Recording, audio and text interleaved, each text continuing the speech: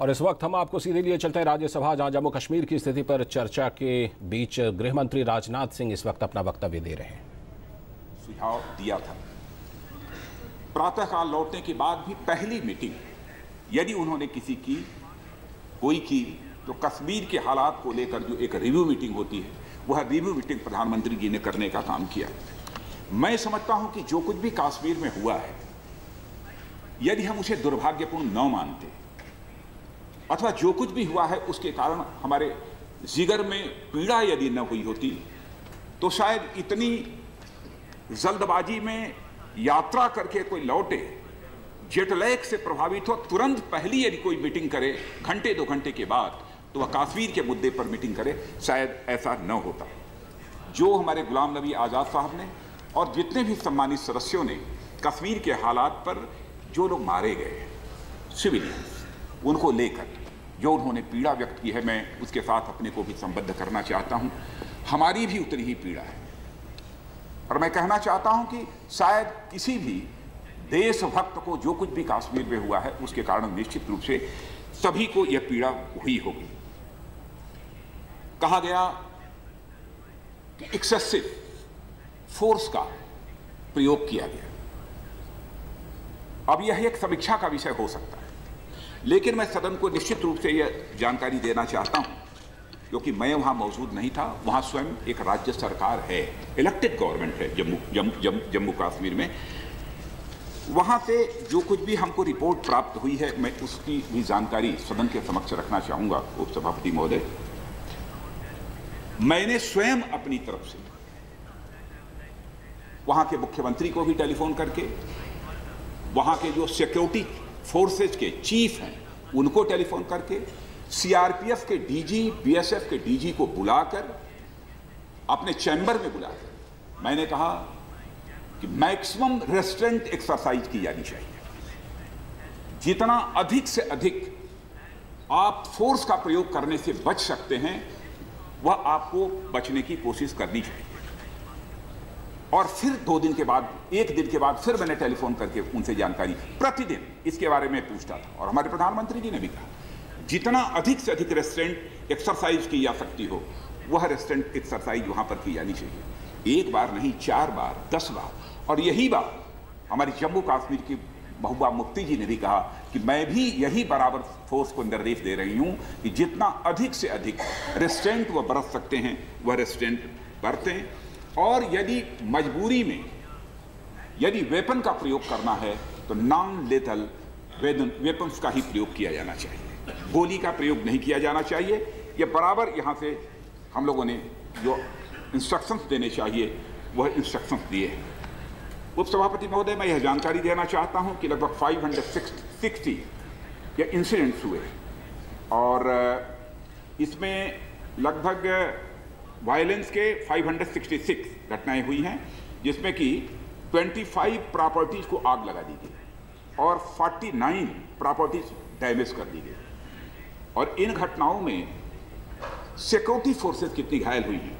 पहले मैं सिविलियंस की बात करना चाहूँगा, क्योंकि सिविलियंस 1948 घायल हुए, जिन्हें हॉस्पिटल में ट्रीटमेंट दिया गया है। इनमें से 1744 को डिस्चार्ज कर लिया गया है।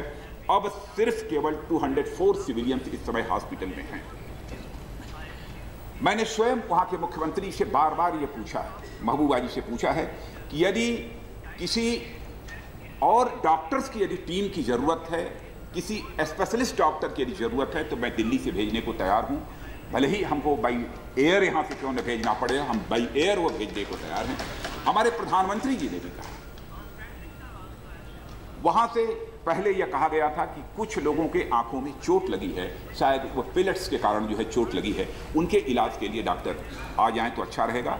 जो ही जानकारी प्राप्त हुई, दोपहर को, शाम को सात बजे हमारे डॉक्टर्स की टीम माने रेटिना जो सर्जन्स होते हैं, उनकी टीम श्रीनगर में वहाँ पर लैंड कर वहाँ पर उतर गई। और जो कुछ भी सहयोग दे सकती थी वह टीम वहाँ पर जाकर उस टीम ने सहयोग दिया सिविलियंस के जहाँ तक घायल होने का है, सवाल है मैंने बताया कि 1948 जिसमें कि 1744 को डिस्चार्ज कर दिया गया केवल 2204 है। सिक्योरिटी फोर्सेस सिक्योरिटी फोर्सेस जो घायल हुई हैं 1671 या जो इंजर्ड हुई सिक्योरिटी फोर्सेस उनका नंबर मैं बतला रहा हूँ और एक जवान भी शहीद हुआ है और 33 सिविलियंस की मौत हुई है। चाहे वो सिविलियंस हों अथवा सिक्योरिटी फोर्सेस हों मौत मौत होती है और उपाध्यक्ष महोदय, हम लोगों को भी बहुत पीड़ा। हिंदुस्तान में मैं समझता हूँ कि संवेदनशीलता को दरकिनार करके कोई राजनीति नहीं कर सकता है और भारत जैसे बड़े देश को बचा नहीं सकता है। और मैं यह मानता हूँ, जैसा लोगों ने कहा ना, आपने कहा कि पॉलिटिकल प्रोसेस प्रारंभ किया जाना चाहिए कश्मीर की समस्या के समाधान के लिए। मैं तो कहना पॉलिटिकल प्रोसेस प्रारंभ किया जाए, इसमें कोई आपत्ति नहीं है। सबसे बड़ी बात, जो कश्मीर की समस्या के समाधान में ध्यान रखने की है, वह संवेदनशीलता सेंसिटिविटी वहाँ की, वहाँ के लोगों की जज्बात, वहाँ के लोगों की भावनाएँ। और साथ साथ ही साथ, कश्मीरियत जो कश्मीर की आइडेंटिटी है, उसका भी हमको ध्यान रखना होगा। शायद इसी हकीकत को समझते हुए हमारे आदरणीय अटल बिहारी वाजपेयी जी भूतपूर्व प्रधानमंत्री ने यह कहा था, जिसे आज के प्रधानमंत्री श्री नरेंद्र मोदी जी ने भी उसे दोहराया है। कहा था उन्होंने, कश्मीरियत, जमहूरियत और इंसानियत, कश्मीर की समस्या के ये तीन सूत्र हैं समाधान के, यह आदरणीय अटल बिहारी वाजपेयी जी ने कहा। और आज के हमारे प्रधानमंत्री मोदी जी ने भी उसी को दोहराया है। और आज भी हम उसी पर कायम हैं। लेकिन उपसभापति महोदय, कश्मीरियत की जमहूरियत में स्थान यदि हो सकता है तो केवल इंसानियत का स्थान हो सकता है, हैवानियत का कोई स्थान लेकिन सिक्योरिटी फोर्सेस के मारे जाने के बाद यदि कोई जश्न मनाता है, क्या उस सभापति महोदय से इंसानियत कहेंगे? या हैवानियत है? मैं समझता हूँ, कश्मीरियत में और इंसानियत में कीन रखने वाला कोई व्यक्ति इसे स्वीकार नहीं करेगा। मैं अपने गुलाम नबी आज़ाद भाई की इस बात से मैं पूरी तरह से सहमत हूँ मिलिटेंट्स के साथ सख्ती होनी चाहिए। और मैं यकीन दिलाना चाहता हूँ कि मिलिटेंट्स के साथ सख्ती होगी, हो रही है और होगी। लेकिन साथ ही उन्होंने यह भी कहा है कि जनता के साथ सिंपैथी होनी चाहिए। मैं आपकी पूरी बात से सिंपैथी शब्द का आपने प्रयोग नहीं किया था, आपका कोई शब्द कोई दूसरा था, लेकिन मैंने उसे बनाया है कि मिलिटेंट के साथ शक्ति और आम जनता के साथ सिंपैथी हम इसी पर कायम रहेंगे, इससे नहीं हटेंगे। लेकिन हुआ क्या? कश्मीर में, मैं उसकी चर्चा करना चाहूँगा। उपसभापति महोदय एक आतंकवादी, बुरहान बानी। हिजबुल मुजाहिदीन का कमांडर, जो कि पाकिस्तान में यूनाइटेड जिहाद काउंसिल का सबसे एक इंपॉर्टेंट पार्ट है, महत्वपूर्ण हिस्सा है। यह जो है, कमांडर उस हिजबुल मुजाहिदीन का। और यूनाइटेड जिहाद काउंसिल विभिन्न आतंक, आतंकवादी संगठन, चाहे वो लश्कर तोयबा हो, जैसे मोहब्बत, जैसे मोहम्मद हो, का यह एक यूनाइटेड ग्रुप है। इसे यूजेसी कहते हैं यूनाइटेड जिहाद काउंसिल उसका ऐसे रखते हैं। जो कि पाकिस्तान की हिदायत पर, पाकिस्तान के इंस्ट्रक्शंस पर, वह बराबर भारत में आतंकवादी घटनाओं को अंजाम देता है। और ये आतंकी संगठन हिजबुल मुजाहिदीन का मुख्यालय पाकिस्तान की राजधानी इस्लामाबाद और रावलपिंडी में स्थित है। इसका सरगना सैयद सलाहुद्दीन है और इसका base camp Pak occupied Kashmir के मुजफ्फराबाद में स्थित है। मैं पूरे सदन को यह जानकारी देना आवश्यक, मैं मानता हूँ। बुरहान बानी, हिजबुल मुजाहिदीन का आतंकवाद कुख्यात आतंकवादी था और दक्षिण कश्मीर में हिजबुल मुजाहिदीन का कमांडर था, जैसा मैंने पहले माना। इनके ऊपर पंद्रह मुकदमे दर्ज थे, पंद्रह। हत्या के हत्या के प्रयास के स्थानीय लोगों को चोट पहुँचाने में सुरक्षा बलों के हथियार, गोलाबारी छीनने में, और भी मैंने लगभग, मैंने ऐसे पंद्रह एफ़ इनके ऊपर पहले से दर्ज थे। और जितनी टेक्नोलॉजी सेवी जो वहाँ की नई पीढ़ी है, यंगस्टर्स जो हैं, उनको रेडिकलाइज करने में भी वह अपनी महत्वपूर्ण भूमिका का निर्वाह कर रहा था। सोशल मीडिया जैसे फेसबुक, ट्विटर, व्हाट्सएप पर नियमित रूप से स्टेटमेंट वीडियो मैसेजेस और यहाँ तक कि पिक्चर्स अपलोड करके युवाओं को, वहाँ के नौजवानों को हथियार उठाने के लिए वह बराबर इंस्पायर करता था, प्रेरित करता था। अब इंटेलिजेंस इनपुट मिला और वहाँ के जम्मू कश्मीर की पुलिस ने यह ऑपरेशन किया और ऑपरेशन करने में जहाँ पर वह मारा गया था, उसके अतिरिक्त भी दो और थे आतंकवादी जो मारे गए उसमें एक सरताज अहमद शेख और एक परवेज अहमद डार टोटल जो है तीन आतंकवादी मारे मारे गए थे। और उसी के परिणाम स्वरूप मैं, मैं यह मानता हूँ उपसभापति महोदय जो कुछ भी हो रहा है वो पूरी तरह से पाक स्पॉन्सर्ड है। पाक स्पॉन्सर्ड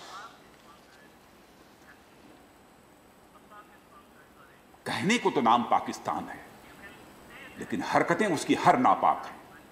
मैं कह हर हरकतें नापाक आज एक हमारे देश में कोई आतंकवादी मारा जा रहा है और हमारे आंतरिक मामलों में पाकिस्तान हस्तक्षेप करेगा। और इतना ही नहीं, पूरे पाकिस्तान में ब्लैक डे मनाया जाएगा। नाम है पाकिस्तान। यह हालत है। उपसभापति महोदय, और मैं कहना चाहूँगा कि वहाँ की स्थिति को सहज सामान्य बनाने के लिए जो भी अधिकतम प्रयास होगा, वह अधिकतम प्रयास हम लोगों की तरफ़ से होगा। मैं बराबर वहाँ के मुख्यमंत्री के संपर्क में हूँ। सुबह शाम कोशिश हमारी यह होती है, अथवा दोपहर कम से कम एक बार, दो बार दिन में हमारी उनसे बात हो जाए और स्थिति का जायजा और साथ ही हमारे जो भी गवर्नमेंट ऑफिशियल्स हैं, उनसे भी बराबर वहाँ के हालात की जानकारी लेता रहता हूँ और जो कुछ भी अधिकतम संभव है, वह मैं करने की कोशिश करता हूँ। यह बात आई वहाँ पर कि वहाँ के लोगों के साथ संवाद करना चाहिए डायलॉग वहाँ के लोगों के साथ प्रारंभ होना चाहिए। आज़ाद साहब ने जो कहा सही कहा है।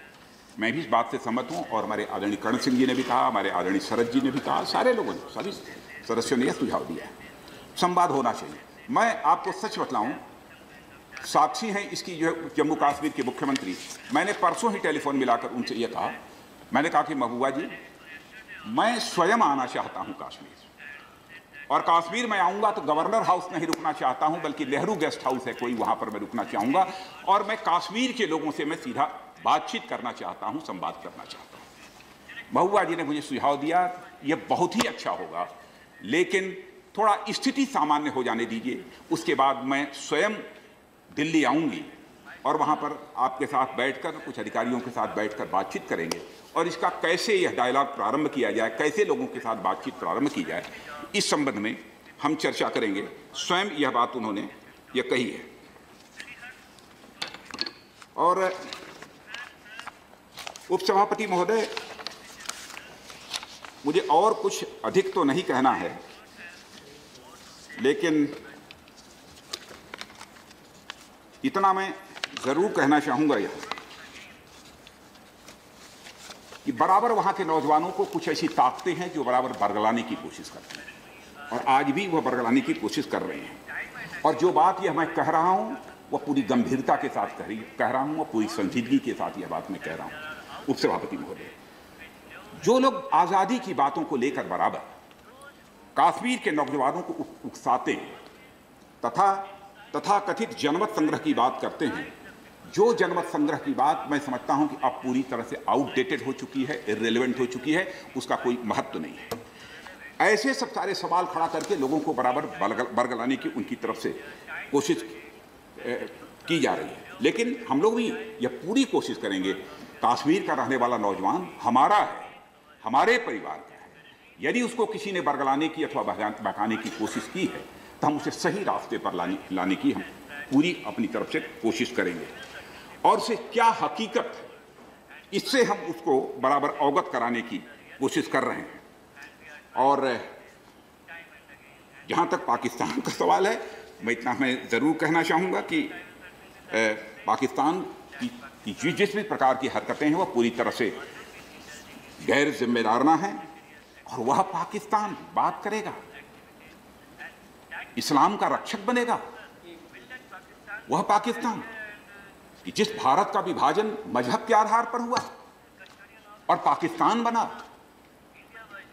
वहाँ के हर इलाके में हर तंजीमों के बीच बराबर एकदम रस्साकसी चलती रहती है, खून खराबा होता रहता है, उसको नहीं रोक पा रहा है। और मज़हब के नाम पर बने पाकिस्तान को जो पाकिस्तान एक नहीं रख पाया, जो पाकिस्तान टूट कर दो भागों में हो गया, वह पाकिस्तान भारत के मुसलमानों की चिंता करेगा। भारत के मुसलमानों की कोई चिंता नहीं करेगा तो हम लोग करेंगे, हम भारतवासी करेंगे। हिंदू होगा, मुस्लिम होगा, ईसाई होगा, सिख होगा, कोई होगा, हम भारतवासी करेंगे। और मैं यकीन दिलाना चाहता हूँ, इस मंच के माध्यम से, अपनी सरकार की तरफ़ से जितनी भी माइनॉरिटीज हैं हमारे हिंदुस्तान की, उनको यकीन दिलाना चाहता हूँ। आप भरोसा कीजिए। बरगलाने वाले, बहुत सारे लोग मिलेंगे। और मैं समझता हूँ कि देश हम लोगों का एक रहेगा तो भारत के अंदर वह पोटेंशियल है। और सारी दुनिया भी हमें मानने लगी है कि भारत अब ऐसे हालात में पहुँच रहा है कि कुछ ही वर्षों में भारत एक विश्व की ताकत बन सकता है। यह भरोसा और विश्वास सारी दुनिया के अंदर पैदा हो रहा है। और जब कभी किसी आतंकवादी को यदि कोई न्यायालय दोषी सिद्ध कर देता है, हमारे देश में ऐसे भी लोग हैं जो उसकी मौत को जुडिशियल किलिंग कहते हैं। लेकिन फिर भी हम उनको कोई बहुत सजा नहीं देना चाहते। हम ये कोशिश करेंगे कि जो एक माइंडसेट है हमारे देश में बना हुआ है, जो एक प्रवृत्ति है किसी भी प्रकार की हिंसा चाहे दंतेवाड़ा में हो जाए चाहे वो बस्तर में हो जाए चाहे हमारे उड़ीसा के किसी माओवाद से प्रभावित क्षेत्र में हो जाए सिक्योरिटी फोर्सेस के जवान मारे जा, मारे जाएँ उसके बाद जश्न मनाएँ चाहे वह कश्मीर में सिक्योरिटी फोर्सेस के जवानों के मारे जाने पर, पर जो जश्न मनाते हैं यह जो एक विकृत मानसिकता है। इस विकृत मानसिकता से भी लोगों को बाहर निकालने के लिए मैं समझता हूँ कि हम लोगों को प्रयत्न करने की ज़रूरत है और वो हम करेंगे। और मैं यकीन दिलाना चाहता हूँ पूरे सदन को अपनी तरफ़ से। हम जो करना चाहेंगे पूरे सदन को डायरेक्ट जी विश्वास में लेकर करना चाहेंगे, सबको साथ लेकर चलना चाहेंगे।